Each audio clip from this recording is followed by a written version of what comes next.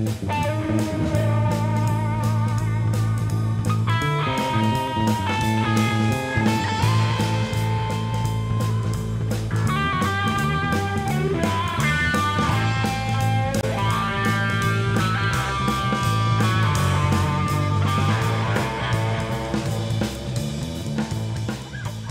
hoje a situação na Síria é muito degradante questão da questão humanitária. As pessoas é, não têm o que comer, não têm acesso à alimentação, não têm acesso à saúde, não têm acesso a atendimento médico. É, é uma situação muito precária. E mesmo com todas essas questões de, de achar um caminho, um resultado, é, ainda continuam os bombardeios diários. Então a população está numa situação assim de sitiada dentro da sua própria casa. Hoje existe essa perspectiva de mudança com os acordos que, que o ANAN tem tem encabeçado aí, mas uh, eu não vejo perspectiva nenhuma, até porque, muito pelo contrário, o que eu estou vendo é que é um grande acordo internacional para a manutenção dessa ditadura. Existem interesses em que ela permaneça, é, inclusive interesses de Israel, principalmente esse eu acho que é o principal foco da, da questão da, da permanência do, do regime no poder porque é ele que durante esses 42 anos tem dado a garantia e segurança essa fronteira com Israel.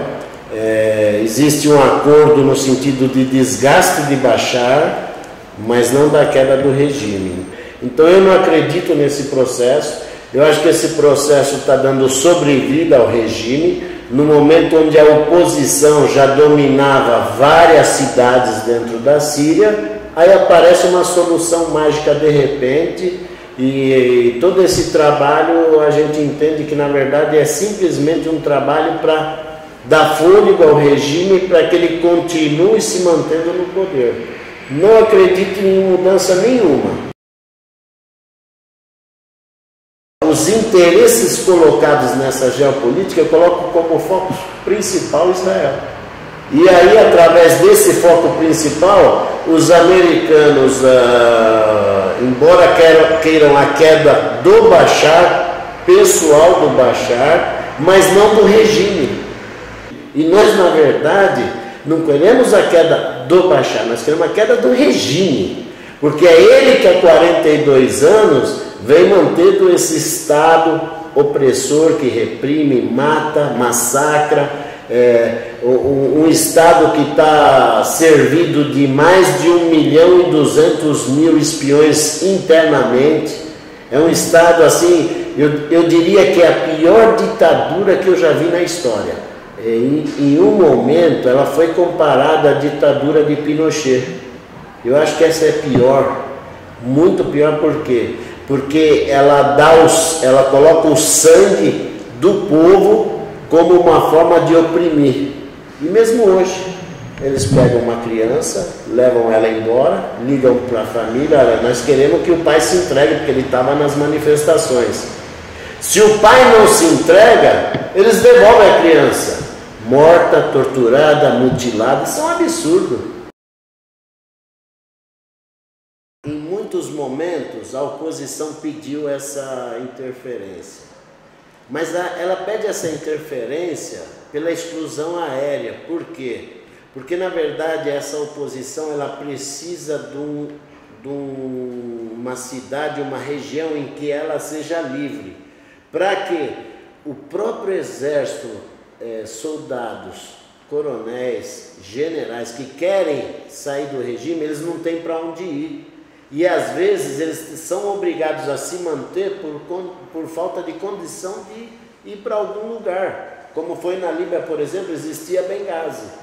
Então todo mundo que queria largar o regime ia para Benghazi. Na Síria nós não temos essa questão. Então em alguns momentos a oposição se direcionou nessa forma. Mas é, até o coronel Riyad Assad, que é o líder do exército sírio livre, tem dito não precisamos de uma interferência. Precisamos apenas de ajuda. O que, que é ajuda? Você ter subsídio para que você possa combater esse regime que está fortemente armado e usando todas as suas armas. Olha, primeiro que durante 42 anos o povo sírio nunca pôde se organizar enquanto partidos, sindicatos, tudo que, que era criado na Síria era atrelado ao governo. O que aconteceu, no, as próprias pessoas passaram a procurar, inclusive no Câmbio Negro, na fronteira com a Síria, é, comprar armamentos para se defender. Essas pessoas formaram grupos armados. Cidadãos sírios formaram grupos armados para se defender. Mas sempre dizendo que a liderança desse grupo armado é o Exército Sírio Livre que eles estão submetidos à liderança do Exército Civil. Essa fragmentação ela é um processo natural de um país que viveu numa ditadura, que nunca pôde se organizar, então é um processo natural. Ela vai ser difícil chegar a um denominador? Vai ser difícil.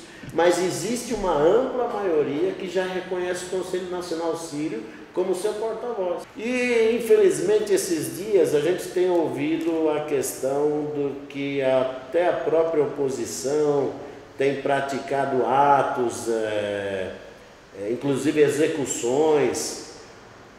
Eu tenho a lamentar que a mídia se preste a esse trabalho, porque olha só, como é que eu vou comparar um regime há 42 anos massacrando?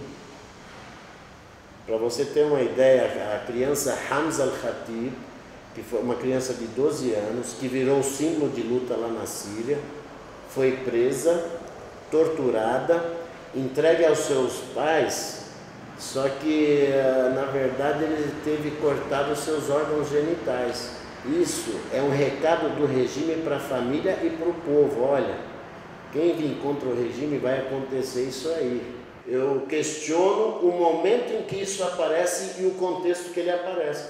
Até porque, como é que eu vou comparar esse genocídio que o regime pratica, com talvez a pessoa que teve seu pai, seu filho, sua mulher estuprada, no momento sai à rua e mata o primeiro que ele encontra na frente. Isso pode acontecer, mas dizer que é uma coisa que a oposição tenha usado isso eu não aceito. E digo para você com todas as letras: isso não é verdade. E eu lamento que essa entidade de direitos humanos tenha entrado nesse acordão. Nós temos uma, uma, uma conversa com nossos irmãos que estão lá dentro da Síria. Nós saberíamos, porque todos os sírios que moram aqui no Brasil, da oposição, em algum momento diria: olha, aconteceu tal fato em tal lugar. Nós não temos esse relato. E o regime, que para ele interessa esse relato, ele não consegue achar um relato desse.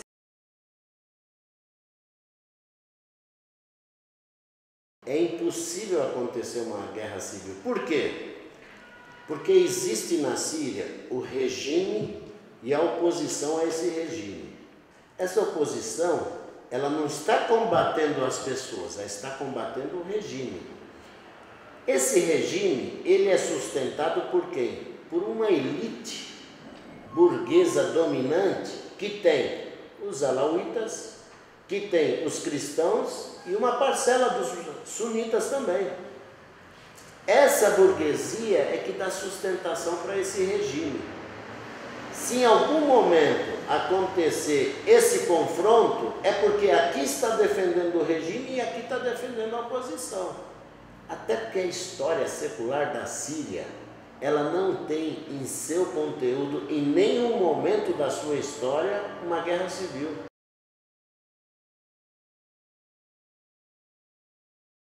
Primeiro assim, nós lamentamos a posição do governo brasileiro e principalmente da nossa presidente Dilma.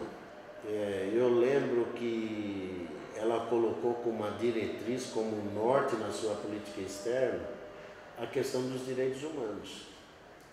Só que assim, são dois pesos e duas medidas para essa questão dos direitos humanos.